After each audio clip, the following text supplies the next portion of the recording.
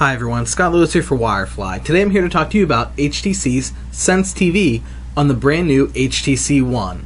Sense TV is a customizable program guide for your local cable provider or satellite provider that will help keep you up to date on your favorite shows and programs.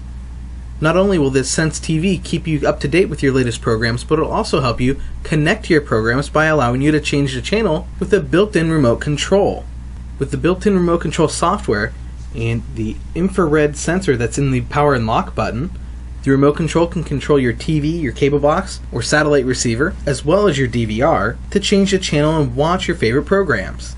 I'm going to take you through a quick tutorial on how to set up the remote control on the HTC One for Sense TV. First, we want to get back into Sense TV. Next, we're going to tap on the remote icon on the top of the display, and then select Start to start the universal remote control setup. Now you can give your new remote a name. After you've given your remote control a name, go ahead and select the devices you'd like to set up for the remote control. Now pick out the manufacturer of your TV and select Next. Make sure to start the programming process with the TV turned off. The Turn On TV button will be flashing in the middle of the screen. Push it and then answer the yes or no question at the bottom. Your TV should be on now and your programming is complete. To test out your new remote control, select the remote button from the top of the display again.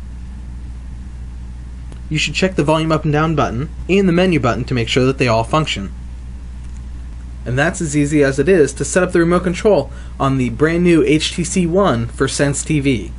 Now you're ready to kick back and impress your friends when they come over for movie night and that wraps up our setup for the HTC Sense TV remote control.